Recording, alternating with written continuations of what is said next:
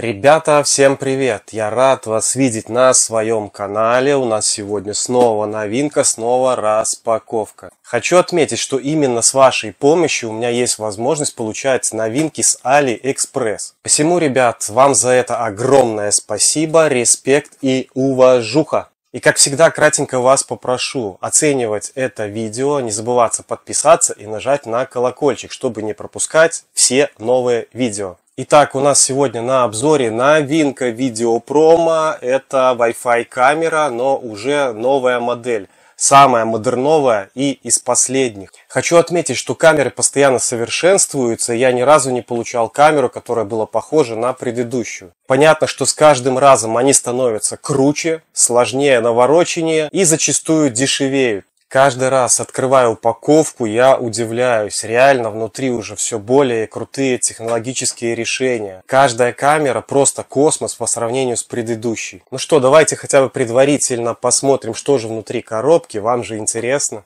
Вот, ребят, вот сама камера. Как видно, у нее два объектива, а это значит, что у нас будет крутой оптический зум. Насколько крутой, естественно, мы узнаем чуть позже. Само собой, я вставлю очень подробную распаковку, ну а пока просто предварительно, ну а пока просто предварительно расскажу про нее вкратце. Во-первых, что здесь есть из плюсов? Во-первых, здесь кронштейн, который можно изгибать под 90 градусов. В предыдущих версиях камер это был косяк, потому что не было возможности нормально ее закрепить. Здесь же есть уже варианты установок. Выглядит камера добротно, из очень качественного пластика. Я надеюсь, что начинка будет соответствовать описанию.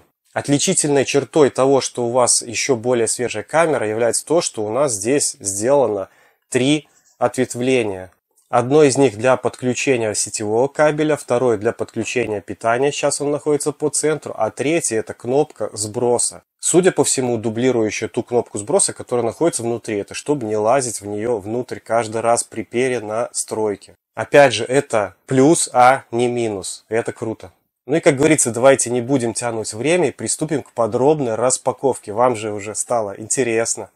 В общем, приходит посылка вот в таком вот виде. В моем случае к ней был прикреплен вот такой вот белый пакет. Чуть позже будем разбираться с чем.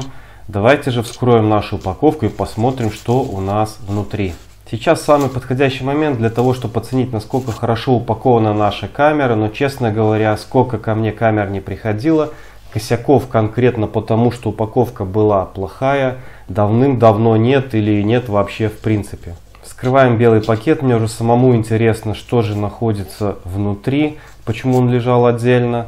Да тут все намного проще, что ж я сразу не догадался. Конечно же, это 64-гиговая флешка, круто. Ну что, вскрываем ларец и что же мы находим первым делом? Первым делом, естественно, какая-то рекламка и явно с самого сайта AliExpress. Далее. Само собой у нас имеется инструкция. Само собой она на английском, хорошо, что не на китайском. В принципе, здесь все подробно объяснено. Также есть ссылка на приложение, которое мы установим на смартфон. Здесь все красочно и понятно. Также есть ссылка на установку приложения для персонального компьютера.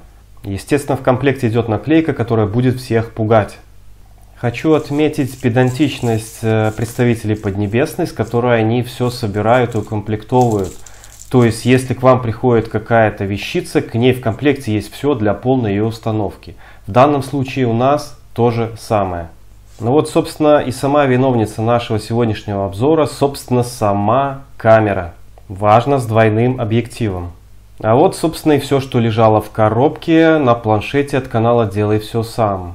В общем, как я и говорил, в комплекте есть все, что надо. Камера собрана из добротного такого пластика, довольно плотного и прочного. В принципе, то, что она белая, даже смотрится прикольно.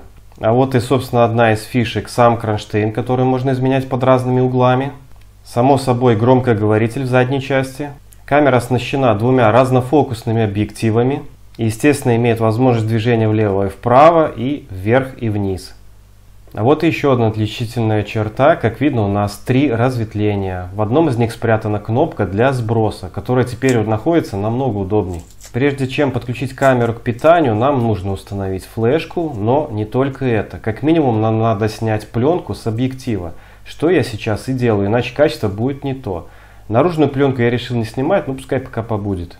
Чтобы установить флешку, выколупываем такую вот силиконовую заглушку, которая находится внизу камеры. Там же находится и кнопка сброса вторая, дублирующая, которая изначально была неудобная. Вставляем флешку, используя обычный канцелярский нож, нажимаем до щелчка характерного. Ну а теперь самая муторная часть всего видео, это включение камеры. Это настолько сложно, что ну реально напрягает. Вот собственно и все. Это был юмор, да.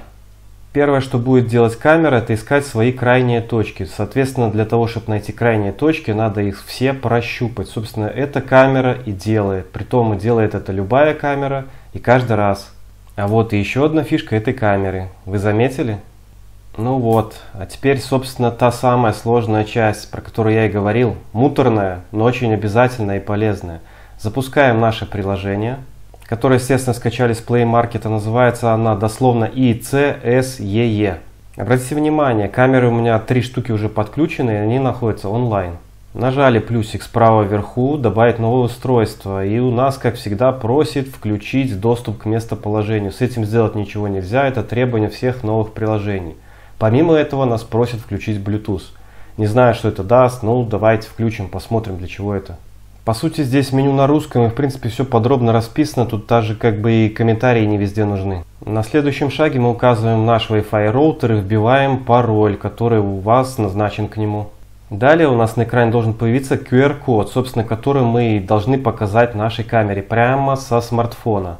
Важно, предварительно надо выключить камеру сети и подключить ее снова в сеть, иначе ничего не получится. Далее задаем сложный, обязательно сложный пароль, но куда-нибудь его записываем, потому что потом иначе все придется сбрасывать. Далее идет все стандартно, придумываем название. Отмечу один нюанс. Раньше надо было обязательно QR-код показывать камере, сейчас это не обязательно. Поэтому вам не придется лезть куда-нибудь там на конек дома. Достаточно просто находиться рядом, и это круто. Далее мы выбираем, видео будет писаться только в режиме сработки или вообще будет фиксироваться все происходящее. Далее тапаем по верхнему экранчику. Как видно, уже висит значок онлайн. И, собственно, все. Камера подключена. Бинго! А вот, собственно, в кадры входит тот балбес, который это видео все записывал и озвучивал. Вон он я. Не обращайте внимания, что видео немножко тормозит. Во-первых, я записываю скрин с экрана моего смартфона. Это уже вызывает небольшое торможение. Второе, как видно, справа посередине экрана у нас стоит максимальное качество UHD. А онлайн-трансляция видео с нашей камеры в этом режиме требует очень высокой скорости интернета. Обратите внимание на левый верхний угол. Сейчас скачка идет почти со скоростью пол мегабита или 500 килобит. Это не маленькая скорость. Собственно, поэтому я хочу еще раз отметить, если вы собрались брать камеру максимальным там разрешением, самую крутую не берите, если вы не можете обеспечить нормальную скорость интернета у вас на участке, в доме, усадьбе, даче. Поэтому не рвитесь брать 4К, 8К. Иногда достаточно 2К, и это выше крыши. Сейчас вы на экране видите опыты с зумированием, и как видите, камера без проблем справляется. Сейчас вы видите пятикратный зум. Ну, скажу честно, здесь по умолчанию идет восьмикратный зум, но по-хорошему, по-честному, пятикратный зум, наверное, максимальный, который имеет смысл использовать, а вообще в идеале четырехкратный. Если же для вас важнее качество, то используйте вообще максимально трехкратный зум. Этого, поверьте мне, выше крыши.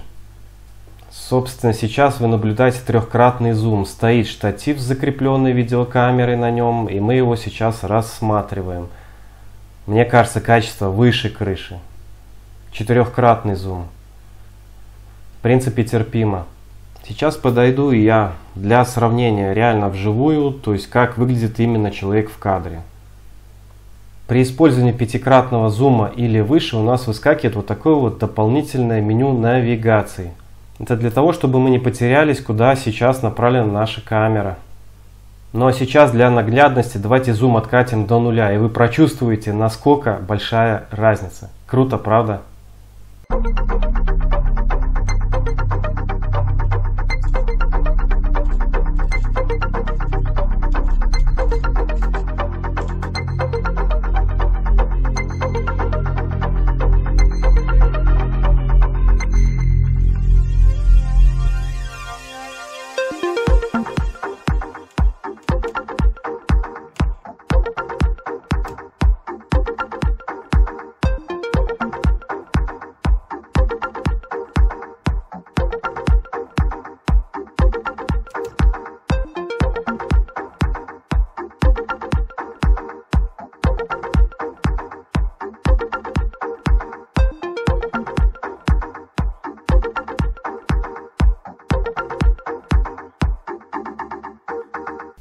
Теперь нам надо камеру привязать. Для этого находим в тройничке нашу кнопочку и нажимаем ее.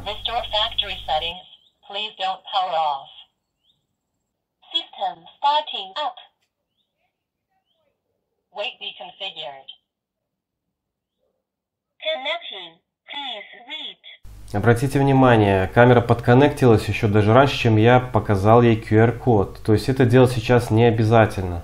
Connect to router successfully. Достаточно просто находиться рядом. При сработке на движение или на человека камера дает вот такой световой сигнал, красно-синий.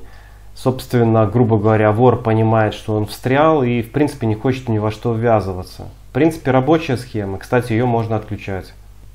Так, теперь что касательно настроек. Настройки я уже много показывал и в предыдущих видео, показывал нюансы, как они включаются. Кстати, постоянно появляются какие-то новые фишки с обновлениями, поэтому обязательно надо обновлять. Об этом чуть попозже. Здесь очень много настроек. Можно настраивать громкость динамика, скорость движения камеры, назвать ее, режим записи на флешку, то есть циклически перезаписывать, когда место заканчивается, или же останавливать запись. Также можно включить кнопку постоянной записи и выбрать качество видео. То есть видео будет все время записываться и вы ничего не упустите. То есть это не запись в режиме сработок, а конкретно запись всего подряд. Теперь то, что важно, обратите на нижний пункт. Как видно, у нас появилось обновление. Надо обязательно обновлять нашу прошивку камеры. Многие жаловались, что у некоторых камер есть какие-то глюки, недоработки. Ну понятно, вы же не можете выпустить новый продукт, и чтобы в нем не было косяков.